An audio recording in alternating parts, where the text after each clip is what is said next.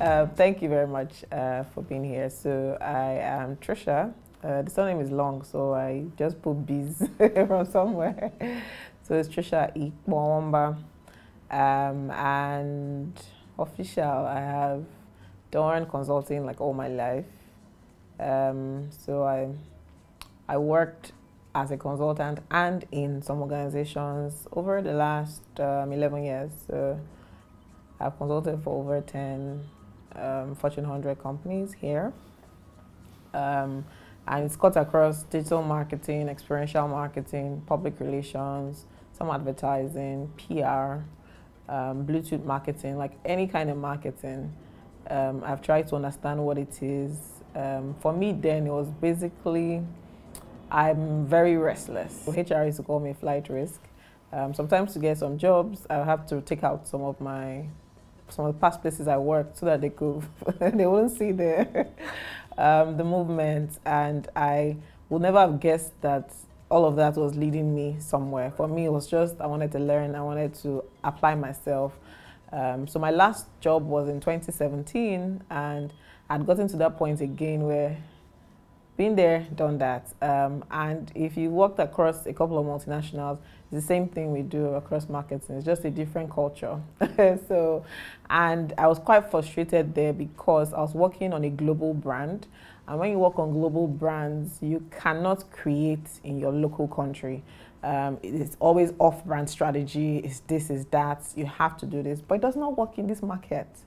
Um, but they don't care that is what glo um, global wants, and we have to do it. Um, so I was looking for what next. Do I go to another multinational or what exactly? And I stumbled on a report.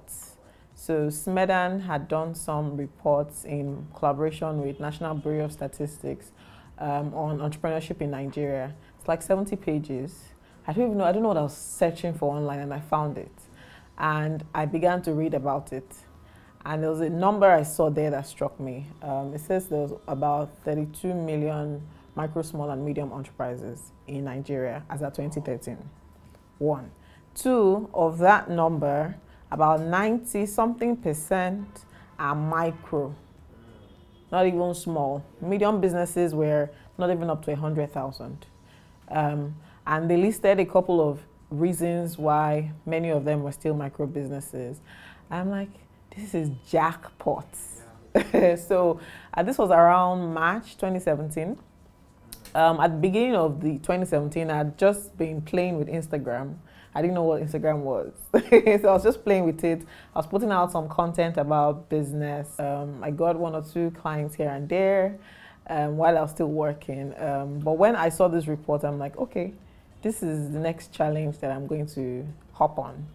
Um, so to help me land softly, I looked for who I thought was the best coach then. Um, and I paid him to understand how coaching worked because I had no clue. I'd done 95 all my life. Um, so he put me through, it was really amazing, Steve Harris. Um, he put me through, I understood, and I asked him about pricing and all those kind of things. Um, but all of the feedback I got, and I spoke to a couple of other coaches, all the feedback I got did not help me solve the problem of the micro guys.